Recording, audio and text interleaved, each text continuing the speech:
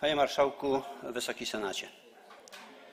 Oświadczenie kieruję do ministra gospodarki morskiej i żeglugi śródlądowej pana Marka Grubarczyka. Szanowny panie ministrze, 26 maja oskarżył pan kandydata na prezydenta Polski Rafała Trzaskowskiego o wspieranie działań Federacji Rosyjskiej mających na celu zablokowanie budowy kanału przez Mierzeję. Dowodem na to, według pana, jest poparcie przez Rafała Trzaskowskiego 21 zielonych postulatów partii Zielone, Zieloni. Przypomnę więc, że partia Zieloni jest polską partią mającą swoich posłów, zatem utożsamianie jej z Rosją jest pozbawione sensu. Proszę więc o wskazanie innych dowodów na to oskarżenie. Jeśli posiada pan taką wiedzę, to ma też pan obowiązek poinformowania o tym polskich służb bezpieczeństwa. Czy dopełnił pan tego obowiązku? Przypomnę też, że nie jest to pierwsza pana insynuacja, że Polacy mający zastrzeżenia do sposobu realizacji tej inwestycji pracują na rzecz Rosjan. 12 października 2016 roku podobne oskarżenia wysunął pan w stosunku do polskich organizacji ekologicznych. Wówczas także domagałem się dowodów, ale nie odpowiedział pan na moje zarzuty. Mam nadzieję, że tym razem nie będzie pan unikał odpowiedzialności za swoje własne słowa.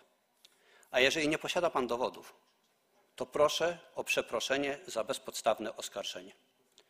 Jednocześnie chcę panu przypomnieć o tym, że budowa kanału przez Mierzeję realizowana jest we wsparciu niemal wszystkich sił politycznych w Polsce, zarówno w Sejmie, jak i w Senacie.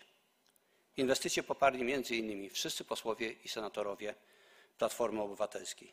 Przypomnę też, że rząd PO-PSL sporządził kompletną dokumentację, przekazał ją Komisji Europejskiej i przygotował w 2014 roku harmonogram zakładający zbudowanie kanału w 2020 roku.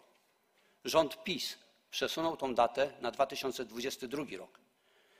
I nawet ona zdaje się być nierealna, gdyż do tej pory nie przeprowadzono nawet przetargów na dwa z trzech etapów realizacji tej inwestycji. Co gorsza, obecnie realizowany projekt bardzo odbiega od tego, który był przygotowany w latach 2007-2015 przez rządy PO-PSL. Do dzisiaj na przykład organizacje, instytucje i osoby składające wnioski i zastrzeżenia, głównie środowiskowe, nie otrzymały żadnej odpowiedzi. Wydano kilka sprzecznych ze sobą orzeczeń środowiskowych. Nie wiadomo więc, czy kanał jest budowany zgodnie z wymogami środowiskowymi. Takie wątpliwości ma także Komisja Europejska. Najpierw, panie ministrze, trzeba wyjaśnić wszelkie wątpliwości, a dopiero później przystępować do realizacji projektu. Tego wymaga prawo i poczucie odpowiedzialności za wydawanie publicznych pieniędzy. Jeszcze większe zastrzeżenia budzi uzasadnienie ekonomiczne, a właściwie jego brak. W projekcie z czasów rządów PO-PSL głównym celem budowy kanału przez Mierzeję było zwiększenie przewozów towarowych do portu morskiego w Elblągu. Obecny rząd zmienił ten priorytet, a projekt budowy kanału nie przewiduje nawet doprowadzenia inwestycji do portu w Elblągu. Deklaracjom medialnym, że jest inaczej, przeczą dokumenty, w tym odpowiedzi pana ministerstwa na wiele moich zapytań w tej sprawie. Ostatnia pochodzi z 12 marca tego roku. Kanał będzie więc autostradą bez jazdu. W obecnej postaci kanał przez Mierzeję nie posiada uzasadnienia ekonomicznego, gdyż nie prowadzi do żadnego portu. Panie ministrze, kanałem przez Mierzeję zajmuję się od 25 lat. Jestem zdeklarowanym zwolennikiem jego budowy jako szansy na aktywizację Elbląga i subregionu Zalewu Wiślanego, ale nie aprobuję działań, które mogą zagrozić środowisku przyrodniczemu ani budowy kanału donikąd, dla którego cel ekonomiczny zastąpiono jakimś oderwanym od rzeczywistości celem militarnym. Wiem, że podobne wątpliwości ma także kandydat na prezydenta Rafał Trzaskowski. Chłodna analiza tych informacji nakazuje więc pytać, dla kogo i w jakim celu ten kanał jest budowany. Takie też pytania panu zadaję. Na jakiej podstawie oskarża pan kandydata na prezydenta o to, że jego działania realizują rosyjskie zamiary zablokowania budowy kanału przez Mierzeję? Czy posiadając taką wiedzę, poinformował pan o tym polskie służby bezpieczeństwa? Drugie pytanie. Jakie konkretne działania na rzecz zablokowania budowy kanału przez Mierzeję podjęła Federacja Rosyjska? Czy te działania zatrzymały tą inwestycję, a jeżeli to kiedy i na jaki czas? Trzecie. Kiedy zostaną rozpatrzone wnioski, skargi i uwagi do pierwszego etapu budowy kanału przez Mierzeję? Kto poniesie odpowiedzialność, jeśli wśród nich będą takie, które mogą podważyć wykonane już prace inwestycyjne? Czwarte. Na jakich dokumentach opiera się uzasadnienie ekonomiczne budowy kanału przez Mierzeję, skoro nie kończy się on w żadnym porcie? Proszę o wskazanie tego dokumentu. Piąte. Czy tor wodny w porcie morskim w Elblągu zostanie dostosowany do parametrów kanału? A jeżeli nie, to czy uzasadnienie ekonomiczne bierze pod uwagę taki wariant? I szóste. Czy warunkiem przedłużenia kanału do portu morskiego w Elblągu jest przejęcie tych akwenów przez Urząd Morski, co sugeruje ostatnia odpowiedź na jedno z pytań dotyczących budowy tego kanału? Panie Marszałku, jeszcze jedno krótkie oświadczenie. Y, Jako drugie, tak? Bardzo proszę, następne pięć minut.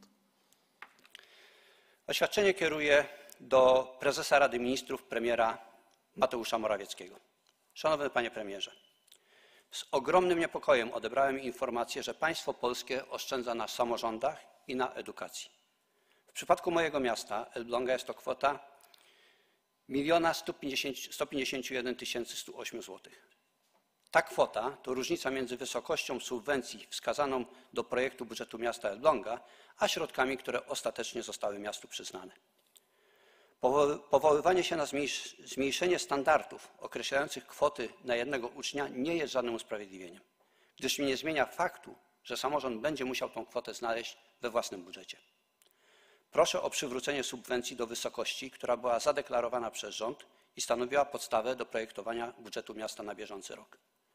Zwracam uwagę, że spełnienie powyższego apelu stan- stanowi minimum oczekiwań.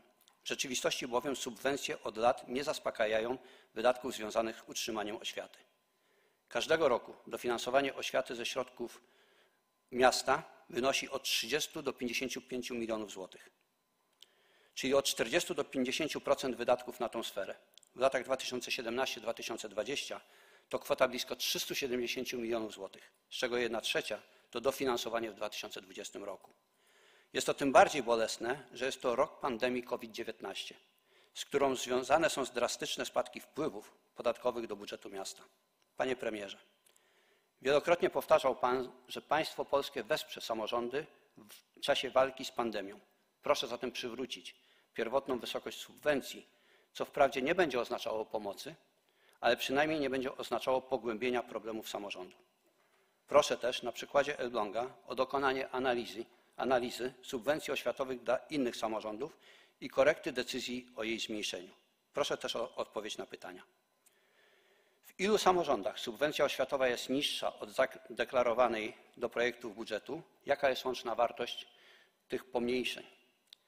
Na ile tą sytuację zmieniły decyzje pana premiera po interwencjach samorządów, innych środowisk, jak w tej sytuacji posłów i senatorów?